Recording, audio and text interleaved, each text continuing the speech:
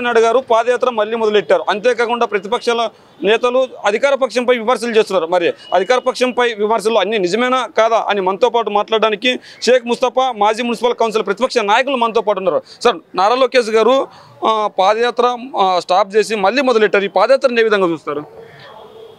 ఆ పాదయాత్ర అనేటువంటిది ఎక్కడ కూడా స్పందన అనేది లేదు.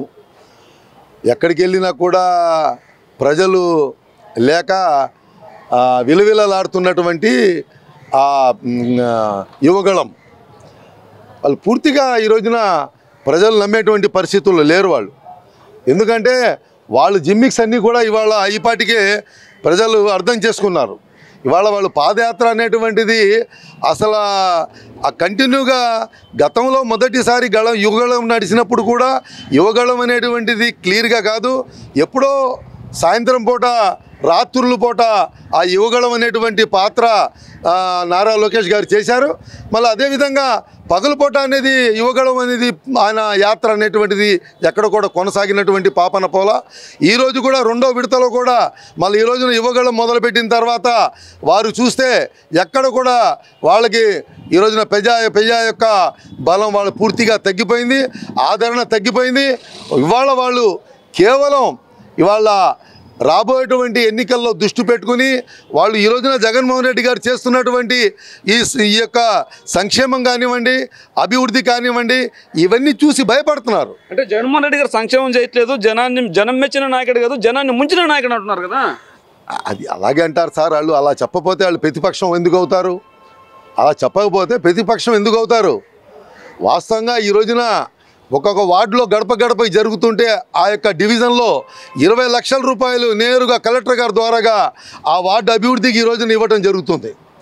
ఏ వార్డులో అయితే అక్కడ ఉన్నటువంటి ఎమ్మెల్యే ఆ యొక్క నియోజకవర్గంలో తిరుగుతాడో మళ్ళీ అక్కడ చూసుకుంటే ఆ యొక్క డివిజన్కి ఇరవై లక్షల రూపాయలు డెవలప్మెంట్కి ఇస్తున్నారు.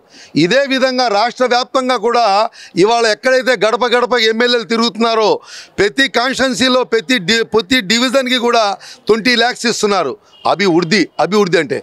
ఇక సంక్షేమం అంటారా? ఇక ఇటువంటి సంక్షేమం గత డెబ్బై ఐదే డెబ్బై రెండు డెబ్బై ఏళ్ళలో ఏ ప్రభుత్వం చేయనటువంటి సంక్షేమ పథకాలు మన ఆంధ్ర రాష్ట్రంలో ఈ జరుగుతున్నాయి. ఆంధ్ర రాష్ట్రంలో జరుగుతున్నటువంటి అభివృద్ధి భారతదేశంలోనే మరి ఏ రాష్ట్రంలో లేదని నేను ఘంటాబద్ధంగా చెప్పగలను నేను. జగన్మోహన్ రెడ్డి గారు సంక్షేమానికి పెద్దపీట వేశారని మీరు అంటున్నారు. జగన్మోహన్ రెడ్డి గారు సంక్షేమానికి పెద్దపీట వేసింది ఏమీ లేదు. జగన్మోహన్ రెడ్డి గారిని ప్రజలు మోసం చేశారని అంటూనే జగన్మోహన్ రెడ్డి గారు ఏదైతే జగన్మోహన్ రెడ్డి గారి ప్రభుత్వం ఏదైతే కులగణన ప్రాజెక్ట్ తీసుకొని వచ్చిందో ఈ కులగణన తీసుకొచ్చింది కేవలం బీసీ ఓట్లను తొలగించడానికి మాత్రమే అని అచ్చెన్నాయుడు గారు విమర్శలు చేస్తున్నారు కదా సార్ మరి. వీళ్ళన్నీ పట్టి అబద్ధం మాటలండి. తెలుగుదేశం పార్టీ అధ్యక్షుడు నారా చంద్రబాబు నాయుడు కానివ్వండి వాళ్ళ పార్టీకి సంబంధించిన నాయకులు కానివ్వండి అబద్ధాలు చెప్పి బతుకుతున్నారు వాళ్ళు. ఏ రోజున వాళ్ళ వాళ్ళు ఏ రోజు కూడా వాస్తవాలు మాట్లాడాల. ఎప్పుడు కూడా అబద్ధాలు చెప్తారు వాళ్ళు. వాళ్ళు కేవలం ఏంటంటే వాళ్ళు మసిపూసి మారేడిగా చేసేటువంటి రకాలు. వాస్తవంగా ఈ రోజున మీరు అభివృద్ధి విషయంలో కానీ సంక్షేమ విషయంలో కానీ ఈ రోజున మనం ఎన్ని లక్షల కోట్లు ఈ రోజున రాష్ట్రంలో సంక్షేమం జరిగింది ఆంధ్ర రాష్ట్ర ప్రజలు ఏ విధంగా ఉన్నారో మళ్ళీ గ్రామీణ ప్రాంతాల్లో ప్రజలందరూ ఏ విధంగా ఉన్నారో రేపొద్దున రాబోయేటువంటి ఇరవై నాలుగు ఎన్నికల్లో వాళ్ళకి సమాధానం చెప్తారని చెప్పేసి ఓటు ద్వారాగా సమాధానం చెప్తారని చెప్పేసి మీకు నేను మనవి చేస్తున్నా. మీరేమో అన్ని మంచి పనులు చేస్తాం ప్రజలకు మాకు ఓట్లు వేస్తారు గెలుస్తామంటున్నారు. మరి వైఎస్ఆర్ కాంగ్రెస్ పార్టీ ఏదైతే బస్సు యాత్ర చేపట్టిందో అది బస్సు యాత్ర కాదు తుసయాత్ర అని ప్రతిరోజు ప్రచారం చేస్తూనే ఉన్నారు రాస్తూనే ఉన్నారు. పాదయాత్రలో నారా లోకేష్ గారు కూడా మాట్లాడుతున్నారు కదా. ఏమండే ప్రజలు ఎంత అమాయకులు కాదు ఇవాళ ప్రింట్ మీడియా ఉంది ఇవాళ ట- ఇవాళ ఎలక్ట్రానిక్ మీడియా ఉంది. ఇవాళ ఏం జరుగుతుంది అనేటువంటి యూట్యూబ్ ద్వారా కానివ్వండి ఇవాళ సోషల్ మీడియా ద్వారా కానివ్వండి ప్రతి సెకండ్ ఈ రోజున ప్రజలు తెలుసుకుంటున్నారండి. ప్రతి మనిషి చేతిలో ఈ రోజున సెల్ ఫోన్ ఉందండి. చిన్న పిల్లల దగ్గర నుంచి పెద్ద పిల్లల వరకు కూడా సెల్ ఫోన్ ఉంది. ఏ ఊరిలో ఏ కాన్స్టిట్యున్సీలో ఇవాళ ఈ యాత్ర జరుగుతుంది? ఈ బస్సు యాత్ర జరుగుతుంది. ఎంతమంది అశేష జనం వస్తున్నారు? ఏ విధంగా సక్సెస్ అవుతుంది? అనేటువంటిది చూసి భయపడిపోతున్నారు. వాళ్ళు వైఎస్ఆర్ పార్టీ కనుక రాష్ట్రంలో జగన్మోహన్ రెడ్డి బలంగా లేకపోతే బలంగా లేదని అనుకుంటే వాళ్ళు సింగిల్గా రావచ్చుగా? వాళ్ళు సింగిల్గా వచ్చే ధైర్యం లేదు. ఎందుకంటే జగన్మోహన్ రెడ్డి బలంగా ఉన్నారని ఇద్దరు కలిస్తే తప్ప జగన్మోహన్ రెడ్డి మేము అడ్డుకోలేమని భయపడిపోయి ఈ రోజున జనసేన పార్టీ కానివ్వండి తెలుగుదేశం పార్టీ కానివ్వండి ఈ రోజున ఎన్నికల్లో రావడానికి ప్రయత్నం చేస్తున్నారు.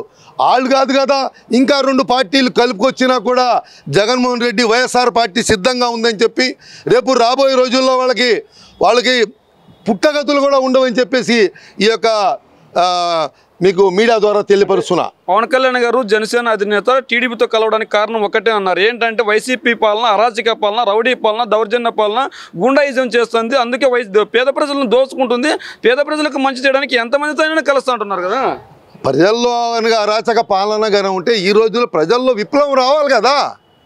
ప్రజా విప్లవం రావాలి కదా. అంటే ప్రజా ప్ర- ప్రజా గొంతు ఎవరైనా ప్రశ్నిస్తుంటే వాళ్ళపై కేసులు పెడుతున్నారు అంటున్నారు. ఎవరండి కేసులు పెట్టేది? ఎవరి మీద కేసులు పెడుతున్నారు? ఎక్కడ కేసులు పెడుతున్నారు?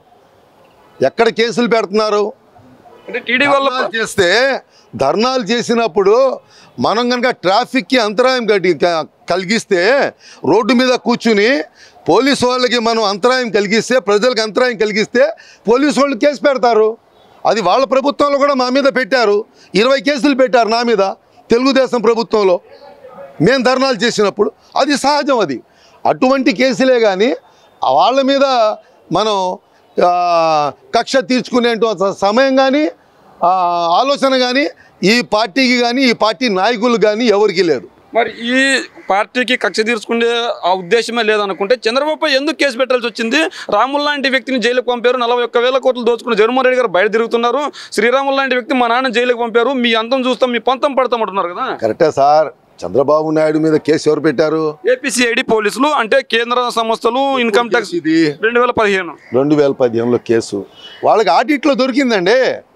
వాళ్ళు జిఎస్టీ కట్టేటప్పుడు వాళ్ళ జిఎస్టీ దగ్గర ఆడిట్లో వాళ్ళు కట్టాల్సింది కట్టలే కట్టలేక కొంతవరకే కట్టారు పూర్తిగా కట్టలేదు అప్పుడు.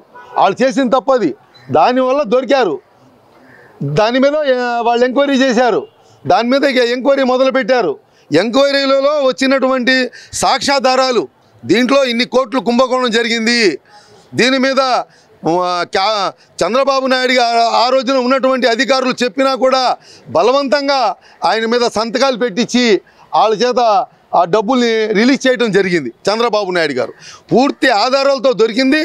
కేవలం వీళ్ళు రాజకీయ లబ్ధి కోసం జగన్ చేశాడు సానుభూతి కోసం చంద్రబాబు నాయుడు గారు జైల్లో పెట్టారు. ఇవన్నీ వాళ్ళు చేసింది తప్పు.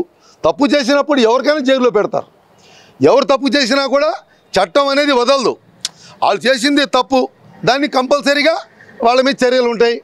ఇవాళ తాత్కాలిక బెయిల్ ఇవ్వచ్చు. వాస్తవాలు ఎక్కడా పోవు.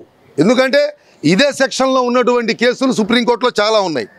ఇవాళ సెవెంటీ ఏ అనేటువంటి కేసు ఒక చంద్రబాబు నాయుడు మీదే కాదు. వాళ్ళు చాలామంది మీద ఈ- ఈ సెవెంటీన్ ఏ అనేటువంటి ఉన్నాయి. ఇది ఒక్కటి కనుక ఆ సుప్రీంకోర్టులో కనుక జడ్జిమెంట్ తప్పు వస్తే మొత్తం రాష్ట్ర దేశం మొత్తం కూడా చాలామంది కూడా మళ్ళీ సుప్రీంకోర్టు సమాధానం చెప్పాల్సినటువంటి అవసరం ఉంది. కాబట్టి తప్పించుకునేటువంటి పరిస్థితి లేదు. తాత్కాలికమైనటువంటి ఉపశమనమే తప్ప ఇంకా అనేక కేసులు కూడా సిఐడి వాళ్ళు సిబిఐ వాళ్ళు తయారు చేస్తున్నారు. అన్నీ కూడా ఛార్జ్ షీట్లు వేస్తున్నారు. వన్ బై వన్ అన్ని తప్పులు చేసిన తప్పు ఎక్కడ తప్పించుకుంటే వీల్లేదు సార్ ఇప్పుడు. సార్ అదేవిధంగా పవన్ కళ్యాణ్ గారు తెలంగాణలో బీజేపీతో పొత్తు పెట్టుకున్నాడు. ఎందుకు పొత్తు పెట్టుకున్నారని అడిగితే నేను బీసీ నాయకుల్ని ముఖ్యమంత్రిని చేయడం కోసమే పొత్తు పెట్టుకున్నాను అంటున్నారు. మరి ఆంధ్రాలో బీసీ నాయకులు జనసేనలో ఎందుకు ఎదగలేకపోతున్నారు మరి? అవును సార్ చెప్పమనండి.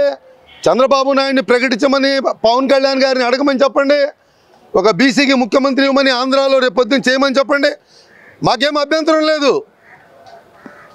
అక్కడ ఒక రకం నాటకం ఇక్కడ ఒక నాటకం. అక్కడ బీజేపీతో పొత్తు. చంద్రబాబు నాయుడు గారు అక్కడ కాంగ్రెస్తో పొత్తు. ఇప్పుడు చంద్రబాబు నాయుడు అక్కడ కాంగ్రెస్కి చేస్తున్నాడు ఆయన. డెలిబేటెడ్గా పవన్ కళ్యాణ్ గారు బీజేపీకి చేస్తున్నారు. మళ్ళీ ఇక్కడికి వస్తే బీజేపీ జనసేన ఒకటి మళ్ళీ తెలుగుదేశంతో కూడా పొత్తు ఉందంటున్నారు. జనసేన. ఇదంతా కూడా ఒక కన్ఫ్యూజన్లో వీళ్ళు ఉన్నారు. ఈ ప్ర- ఈ రా- ఈ రాష్ట్రంలో విషయం వచ్చినప్పుడు ఆంధ్ర రాష్ట్రం విషయం వచ్చినప్పుడు జగన్మోహన్ రెడ్డి పరిపాలన కానివ్వండి జ జగన్మోహన్ రెడ్డి పరిపాలన సంక్షేమం కానివ్వండి అభివృద్ధి కానివ్వండి ప్రజల్లో ఎలా ఉన్నాయి సర్వేలు ఎలా ఉన్నాయి అనేటువంటి వాళ్ళు భయపడిపోయి రేపొద్దున ప్రభుత్వం కనుక రాకపోతే మా రెండు పార్టీలు కూడా శంకరగిరి మాన్యాలకు వెళ్ళాల్సిందే సార్ మరి పవన్ కళ్యాణ్ గారు నేను పొత్తు ఎవరితో పెట్టుకున్నా పేద ప్రజల కోసమే అంటున్నారు. తెలంగాణలో పోటీ చేస్తున్నాడు. అక్కడ అదే తెలంగాణలో బరిలక్క పోటీ చేస్తుంది. బరిలక్క పోటీ చేస్తూ తెలంగాణ ప్రభుత్వాన్ని కేసీఆర్ గారిని ప్రశ్నిస్తుంది. ఎవరైనా ప్రశ్నించేది ప్రతి ఒక్కరికి హక్కు. మరి పవన్ కళ్యాణ్ పోటీ చేస్తూ అక్కడ ఎందుకు కేసీఆర్ గారిని ప్రశ్నించట్లేదు అంటారు ఎక్కడ ప్రశ్నించాడండి ఆయన? అక్కడ ఉండి కూడా ఎవరు కూడా కేసీఆర్ని ప్రశ్నించలేదు. ఆంధ్రాలో ఉన్నటువంటి జగన్మోహన్ రెడ్డి గారినే. అధికారంలో లేనప్పుడు కూడా జగన్మోహన్ రెడ్డి గారినే విమర్శించాడు. ఇవాళ ముఖ్యమంత్రి అయినా జగన్మోహన్ రెడ్డినే విమర్శిస్తున్నాడు. రెండు వేల పద్నాలుగు నుంచి పంతొమ్మిది వరకు నేను ప్రశ్నిస్తాకే పుట్టింది నా పార్టీ నేను ప్రశ్నిస్తాకే వచ్చాను అని చెప్పినటువంటి పవన్ కళ్యాణ్ గారు రెండు వేల పద్నాలుగు నుంచి రెండు వేల పంతొమ్మిది వరకు ఏ రోజైనా చంద్రబాబు నాయుడు గారిని ప్రశ్నించాడా? అతను దత్తపుత్రుడు. ఖచ్చితంగా అతను మొత్తం కూడా దత్తపుత్రుడు. కాబట్టి ఆ పేరు దత్తపుత్రుడు కానీ లేకపోతేనే మన ఇది ఏది అయినా కానివ్వండి తెలుగుదేశం వాళ్ళు కూడా వాళ్ళకి విమర్శించారు పవన్ కళ్యాణ్ని. తెలుగుదేశం వాళ్ళు కూడా పవన్ కళ్యాణ్కి చాలా విమర్శించారు. ఇవాళ తెలుగుదేశానికి గత్యంతరం లేక పవన్ కళ్యాణ్ని కలుపుకోపోతే మేము నెక్స్ట్ మేము మా మేము అధికారంలోకి రాలేమని భయపడిపోయి ఇవాళ పవన్ కళ్యాణ్తో పొత్తు పెట్టుకోవాల్సిన పరిస్థితి వచ్చింది. సార్ మరి టీడీపీ జనసేన కలిసి పోటీ చేస్తుంది. ఎవరు అవునన్నా ఎవరు కాదన్నా గోదావరి జిల్లాలో కాపులు ఎక్కువ మరి కాపులు ఎక్కువ ఉన్న చోట జనసేన వైపు కాపులందరూ వెళ్ళి వైసీపీకి ఓట్లు ఓట్లు సీట్లు తగ్గే అవకాశం లేదా? కాపులకి పవన్ కళ్యాణ్ మీద నమ్మకం పోయింది సార్. ఎందుకు? ఏ విధంగా? సత్యం. కాపులకి నమ్మకం పోయింది. ఎందుకంటే ఏం చెప్తాము ఆయన చేసే పనులు. ఆయన చేసే పనులు ఎలా ఉన్నాయి? వెంటనే వెళ్ళాడు. చంద్రబాబు నాయుడు గారు రాజమండ్రి జైల్లో పలకరించాడు. బయటికి వచ్చాడు. నేను టీడీపీతో నా పొత్తు అయిపోయింది. టీడీపీతో నేను ఎలయన్స్ అని చెప్పేశాడు. దాన్ని బట్టి మీరు అర్థం చేసుకోండి. అంటే చంద్రబాబు అక్రమ కేసు పెట్టారు. అందుకే నేను అలయన్స్ అయ్యాను అంటున్నాడు. ఏమంటే ఇప్పుడు ఎలయన్స్ అవుతామండి సార్? ఎప్పటి నుంచో ఎలయన్స్లో ఉన్నాడు. అదేగా జగన్మోహన్ రెడ్డి గారు చెప్పేది. మా వైసీపీ నాయకులు మా మంత్రులు మా ఎమ్మెల్యేలు అందరు చెప్పేది ఎప్పటి నుంచో లోపాయికారిగా చంద్రబాబు నాయుడికి అమ్ముడు పోయాడు. పవన్ కళ్యాణ్ గారు అమ్ముడు పోయాడు. ఎందుకంటే ఆయన వాయిస్ లేదు. ఆయన వాయిస్ వన్ సైడ్ ఉంది. అర్థమైందా? జగన్మోహన్ రెడ్డి గారికి మాట్లాడటానికే ఉంది కానీ అతని వాయిస్ అతను న్యాయం గురించి రెండు వేల పద్నాలుగు నుంచి రెండు వేల పంతొమ్మిది వరకు న్యాయం మీద ఇవాళ ఆ రోజు రాష్ట్రంలో జరిగినటువంటి అనేక రకాలైనటువంటి విషయాల మీద ఏ రోజున ప్రశ్నించాడా? అమరావతి అభివృద్ధి మీద ఏ రోజున ప్రశ్నించాడా? మన రాష్ట్రంలో మళ్ళీ అనేక రకాలైనటువంటి మనకు ఉన్నాయి పోలవరం ప్రాజెక్టు మీద ప్రశ్నించాడా? విశాఖపట్నం ఉక్కు ఫ్యాక్టరీ మీద ప్రశ్నించాడా? అప్పుడు రెండు వేల పద్నాలుగు నుంచి రెండు వేల పంతొమ్మిది వరకు. అప్పుడేం ప్రశ్నించాలా? ఆ ఐదు సంవత్సరాలు సైలెంట్గా ఉన్నాడు. ఇప్పుడు జగన్మోహన్ రెడ్డి గారు వచ్చిన తర్వాత ఇవన్నీ గుర్తుకొస్తూ ఉంటాయి.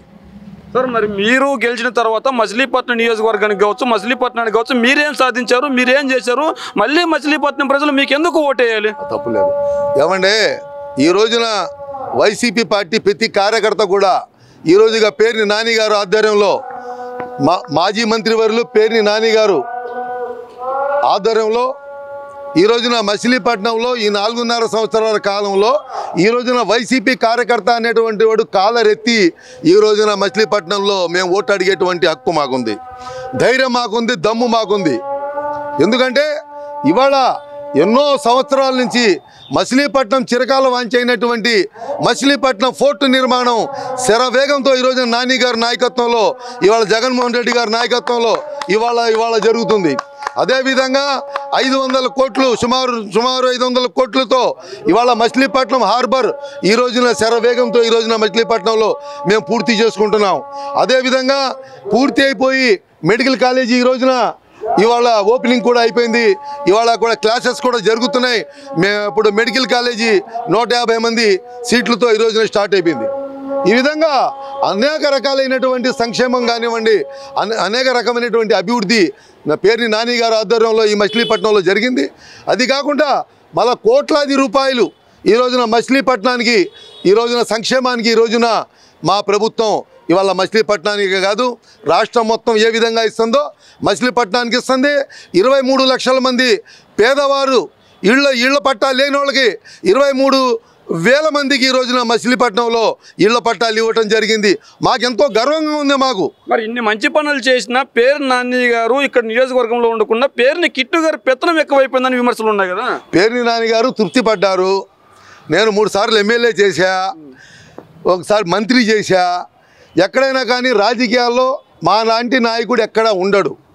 ఎందుకంటే ముసలోడైపోయినా కూడా నా ఎమ్మెల్యే కావాలి మంత్రి కావాలని కోరుకునేటువంటి ఈ రాజకీయ వ్యవస్థలో ఈ రాజకీయ వ్యవస్థలో ఇవాళ పేరు నాని గారు ఇంకా ఆయన చేసేటువంటి దమ్ము కానీ మా అతని దగ్గర ఉన్నటువంటి శారీరక శారీరకంగా ఫిట్నెస్గా ఉన్నా కూడా మళ్ళీ ఈ రోజున ఏంటి ఆయన నేను మూడు సార్లు చేశా మంత్రి చేశా నేను తృప్తి పడ్డాడు ఆయన.